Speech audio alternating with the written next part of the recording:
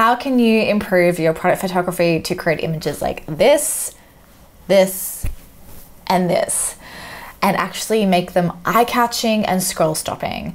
So I'm getting a lot more DMs at the moment with people asking me to give feedback on their photos. And unless you're a student inside my course, Become a Brand Photographer, it's really hard for me to get to everybody. So I wanted to make this video and walk you guys through my six top tips on creating better product photography. And don't forget, if you are a student inside my course, Become a Brand Photographer, you can post all your photos inside the Facebook group for feedback from both myself and other photographers. You can ask any questions that you need. So I will leave a link in the description box below if you guys are interested in that and you haven't joined and use the code YouTube for 10% off. And if you're a brand watching this video, I cannot emphasize the importance of having high quality visuals on both your website and your social media channels. And the reason for this being is mainly because there's so much saturation out there now in the market, whatever industry you're in. And if your competitor has better visuals than you for both photo and video, their graphics, their website looks better, they're most likely going to get the sale over you. Now, if you're new here, I'm Amanda and I'm a brand photographer based in Brisbane, Australia. And essentially, I work with skincare, beauty, health, wellness, and lifestyle brands to help bring their photo and video content to life. So, if you want to go and check me out and get to know me more, you can do so at Amanda Campeanu over on Instagram. And if you want to watch more tutorials on product photography, learn more tips and tricks, then head on over to my YouTube channel. I've got quite a few videos on there don't forget to subscribe. I would love to see you in the community but let's get stuck into the video. So I think the most important thing that is going to help you level up your product photography is good lighting. So the one thing that I often see when people send me photos and they want feedback is that they just don't have enough light on the scene or the product isn't lit well enough. And basically there are two light sources that you can use.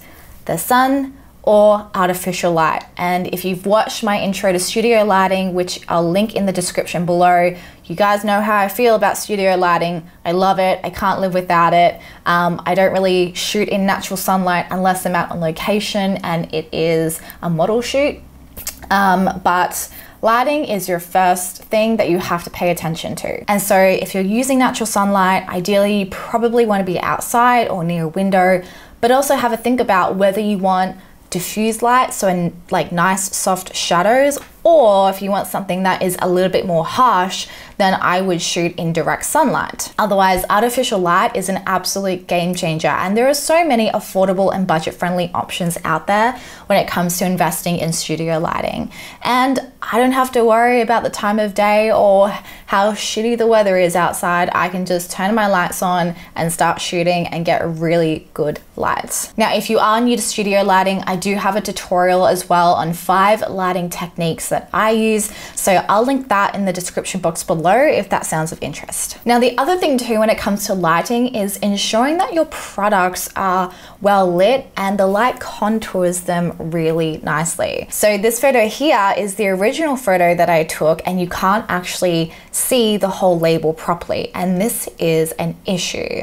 So what I had to do was put a white foam board under the product to reflect back into the writing on the label. And so this makes for a higher quality photograph now that you can actually see what the label is and what the brand is. And mind you, I had to do quite a bit of Photoshop work on these photos to ensure that each letter of the word Three Warriors was actually showing on the label. And products are made of different materials, like reflective products are harder to work with. It requires a little bit more of a complex lighting setup, um, even a matte kind of material. So you've really got to pay attention to these little things and how to correctly light different types of products. Okay, number two is that your props don't make sense or they make your photo look messy, which is something that we do not want. So when you are prop styling, you want every single prop to be placed intentionally in the scene. You want them to be well thought out. Sometimes I see photos where it's like, that prop doesn't really make sense for that product or for that brand and it just looks really random. So the way that you want to go about your styling is start as minimal as possible.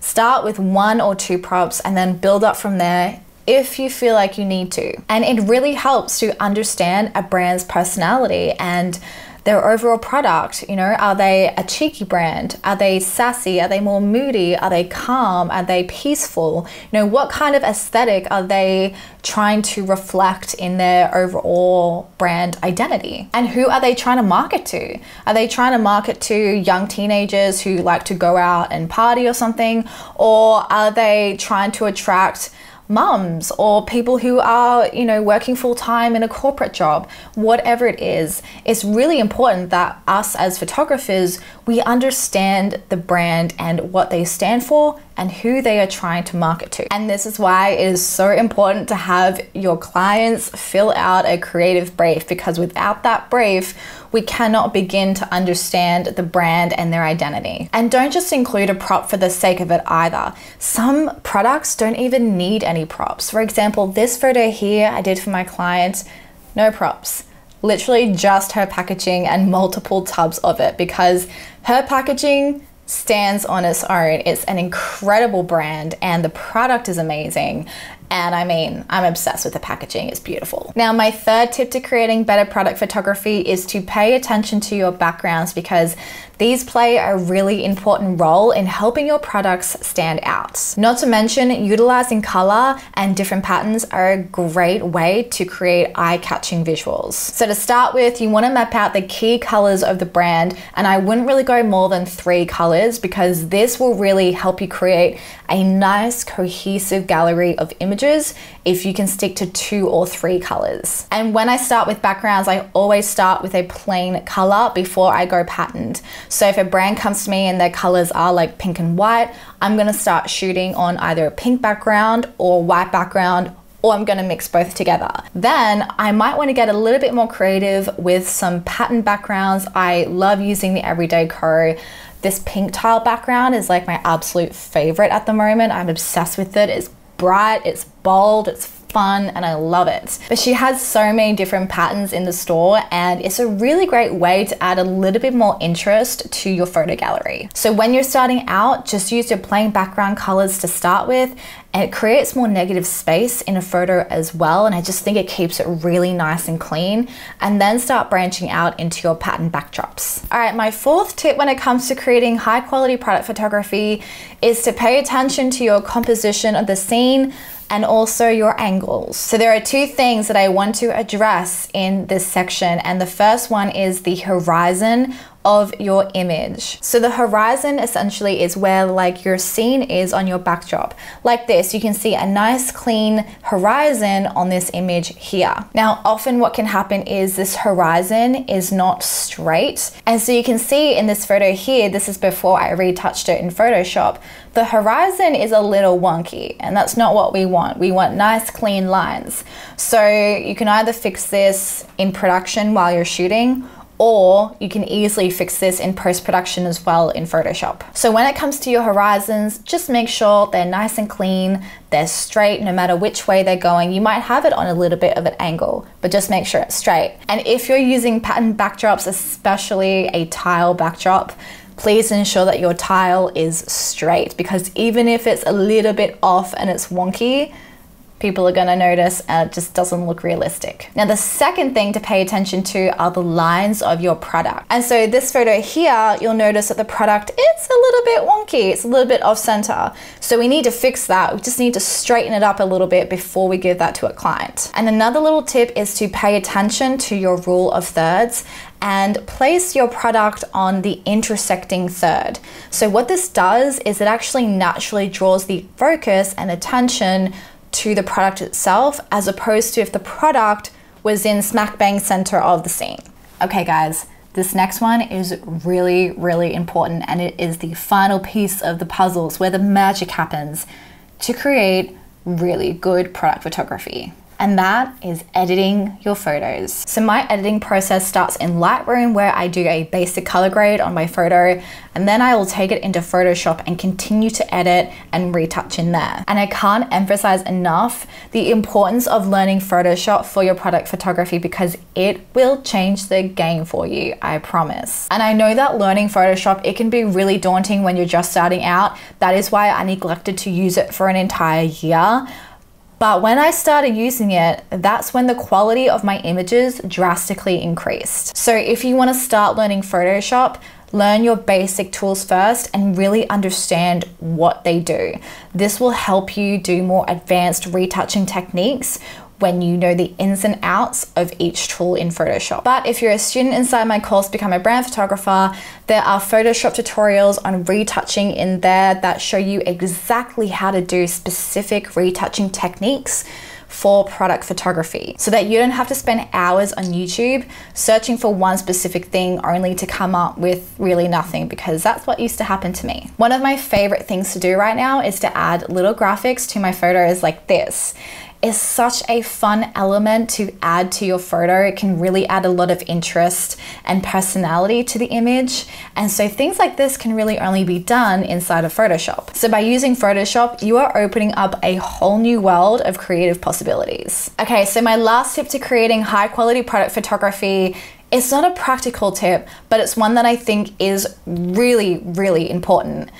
And that is to not rush your process and to take breaks. So there are days that I just cannot bring myself to shoot because I'm physically tired. I'm just not inspired creatively. I might be having an off day um, and I just need a break. Because if you're shooting seven days a week, which is what I was doing, crazy person, um, too much of that can actually impede on your creativity and you burn out. And so eventually it feels like you're just trying to force creativity out of your ass and just producing work that you know is not your best work because you haven't had time to actually be inspired by something. And so this is why I like to schedule my studio shoots at the beginning of the week, usually from Monday to Wednesday, because at the end of the week, especially come Friday, I do not want to do anything. I do not want to talk to anyone. And I just want to have like a day to myself. And so I'll usually take my Thursday and Fridays to edit the galleries that I have shot at the beginning of the week,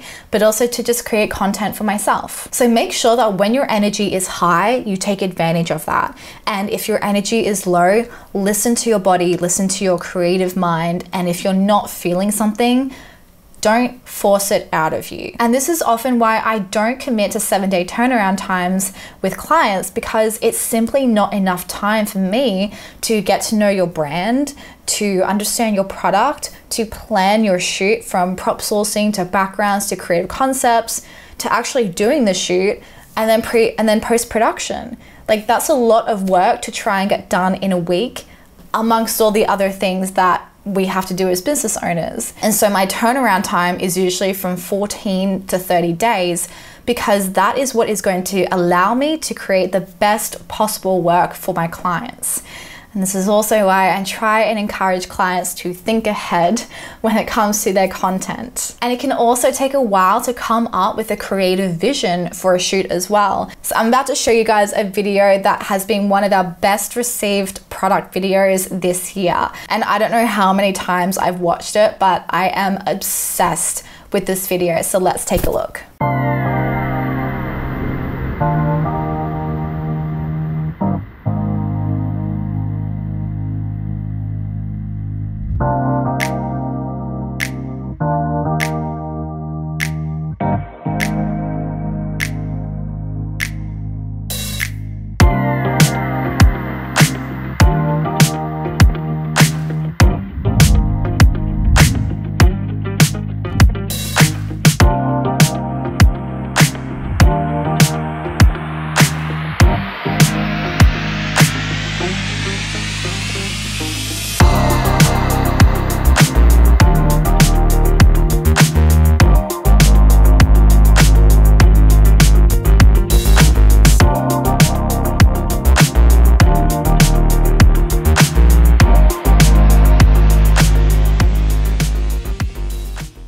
So this has been one of the best product videos that we've done in our studio and it took some time for us to put this together. So I'm so grateful to our client that they gave us complete creative direction, but they also gave us creative space to produce this video for them. So those are my six top tips on creating high quality product photography. And if you can really hone in on each of those elements and practice them, experiment with them, then you will be seeing a difference in your product photography. Now, as usual, if you have any questions, leave them in the comments below. I'm always happy to answer and chat with you guys. If you want to see more behind the scenes tips and tricks, or you want to get to know me more, go and head on over to my Instagram, Amanda Campeanu, or head on over to my YouTube channel and watch some of my other videos there on product photography. Don't forget to subscribe, give this video the thumbs up if you found it helpful, and I will see you in the next video.